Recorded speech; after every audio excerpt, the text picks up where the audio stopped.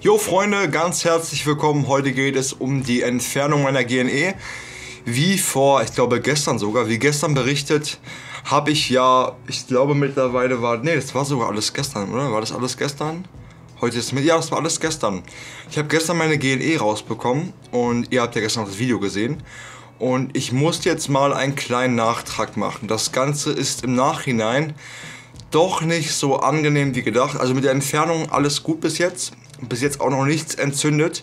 Ich blende euch hier oben mal, währenddessen ich rede, Vorsicht, sehr eklig, ab jetzt hier oben ein Bild ein, wie das Ganze von innen aussieht, ja? Folgendes. Ich habe ja jetzt in als Ersatz, als die GNE rausgenommen wurde, als Ersatz, um den Kiefer in der Position zu halten, diese, diesen Draht reinbekommen. Äh, und dieser Draht ist wirklich sehr dünn und scharf mit scharf meine ich wirklich scharf.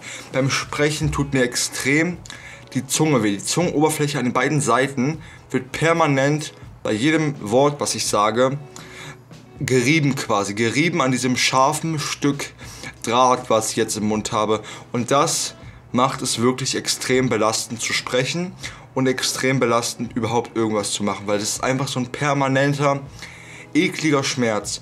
Meine einzige Angst, die ich jetzt habe, dass ich jetzt durchgehend über die zwei Monate hinweg eine scharfe Zunge habe, weil das ja nie wirklich ausheilen kann, weil mit jedem Wort, was ich sage, wird eben die, das, die, die Reibung an dem scharfen Ding extrem verschlechtert. Falls ihr also die GNE entfernt haben bekommt, fragt bitte vorher nach, ob ihr auch einen eine Schiene quasi reinbekommt, so wie ich. Das ist ja keine Schiene, das ist einfach nur ein Draht, der den Kiefer so ein bisschen in der Position halten soll.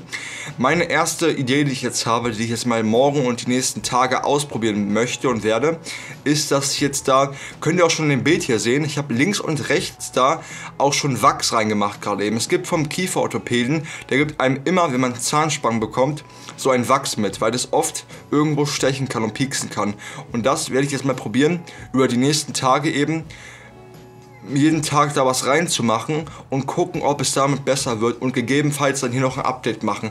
Aber das ist auf jeden Fall ein sehr negativer Punkt. Wie gesagt, gestern in dem Punkt. Die Entfernung war, wenn die Betäubung gut ist, kein Problem. Ihr seht hier oben auch die ganzen die ganzen ähm, Löcher, wo die Schrauben drin waren, könnt ihr euch ganz genau anschauen. Dann wisst ihr auch ungefähr, wie es sich bei euch in, drin danach aussehen könnte und dass euer, Wund, euer Mund schon von Hause aus danach ziemlich wund ist. Plus die Zunge jetzt gerade auch fast angeschwollen ist. Das ist wirklich eklig vom, vom, vom Sprechen her und tut wirklich weh. Genau. Ähm, ja, ansonsten hat sich nicht viel getan. Ich bekomme, die Lücke ist fast so, wie man sehen kann, ist alles easy. Und ja, in circa zwei Monaten ist die Kiefer und die Oberkiefer-Unterkiefer-OP. Und bis dahin werde ich euch hier fleißig weiter mit Updates versorgen, Freunde. Wie gesagt, Schmerzen, also es ist wirklich ein ekliger Schmerz. Ich würde ich würd es keinem antun. Das ist wirklich extrem eklig, wie an den beiden Kanten, links und oben rechts, die Zunge an beiden Ecken extrem doll gerieben wird. Nichtsdestotrotz, Freunde, ich wünsche euch viel Spaß bei eurer OP, bei euren Themen, die ihr habt im Leben. Schönes Jahr 2019, haut rein. Euer Samuel Lift ist Out of Lifting, Freunde. Ciao.